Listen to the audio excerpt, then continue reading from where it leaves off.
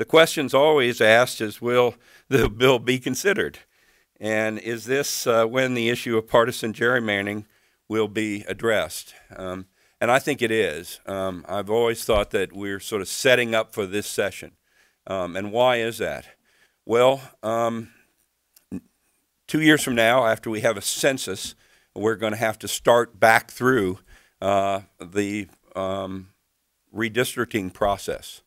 Uh, and therefore, at a point in time where neither the Republicans are sure they're going to be in charge, nor the Democrats are sure they're going to be in charge, uh, may be the time that both sides finally come together and say we'd prefer to have uh, nonpartisan redistricting as opposed to have the other party uh, be completely in charge of the system.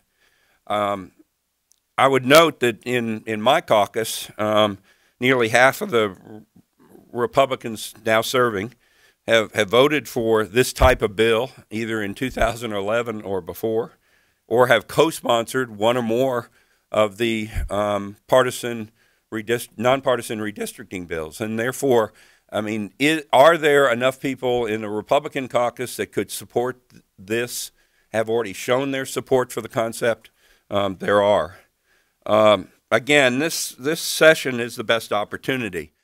Partisan gerrymandering affects the way our government operates, it affects the way people feel about our government, and here's our chance to change it.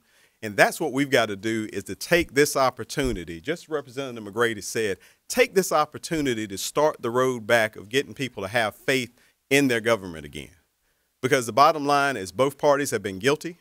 Both parties have made sure that this wasn't the exclusive domain of either. But we've got tools these days that allow a precision that was unheard of at the time that our forefathers probably first contemplated this issue. At this point in time, you have neighborhoods being separated, homeowners associations being separated, students at the same university voting in different districts. That can't happen. And that's the type of thing that makes people feel government's broken. We've got a chance with this step, with this bill, to move that narrative forward, to change people's opinions, especially at this time. Completely agree with Representative McGrady with the entire atmosphere that's out there. I do believe that you've got an opportunity for people to come together on something that makes people feel good about their government. And we love this bill in particular because this gives us an independent commission. This gets this process as far away as it can be from the General Assembly making decisions about how these maps look because ultimately voters should be choosing their elected officials. The elected officials should not ever be choosing who their voters are going to be. This is our, our fourth term in a row, or at least mine. I think Representative McGrady filing a, a bill together to reform the redistricting process. I'm proud to be here again today. Uh, first thing that comes to mind is good government, and I think uh, that's really what this is about. Uh, I don't know if there's a perfect way to draw legislative districts, but I would contend there's a better way to do it than what we are now. And if you go back through the decades, I, I would contend that this is a problem that's been around for quite some time. Uh, my party is currently in the majority.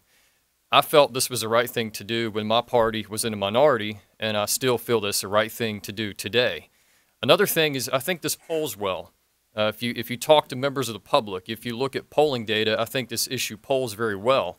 Uh, whether we go a statutory route or if we put this forward as a constitutional amendment, um, I think it polls well. If we were to put it forward to the voters as a constitutional amendment, I think it would pass uh, overwhelmingly.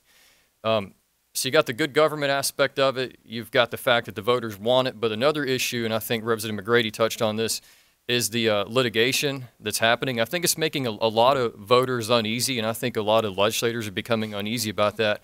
We really don't want the courts drawing districts.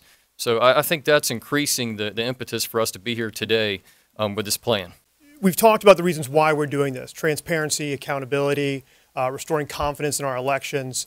Uh, and so, as we go forward from this room, we're obviously here with a, with a, large number of people who support this effort. You know, the question I have is for those who don't support this effort, why? What is it about independent uh, districting that scares you? Uh, why would you Why would you stand in the way of doing something that actually uh, returns a sense of fairness and, and confidence in our elections? Um, you know, having people run on their ideas on their values, on their policy issues, and not relying on lines drawn with, a, with essentially a fine pointed pencil. Uh, so as we move forward, that's going to be my question that I seek out. if, you, if you're not standing here in support of independence, uh, why not? Uh, and I hope that we, uh, we, we seek those answers, uh, and I find that um, I think we'll find that they're lacking.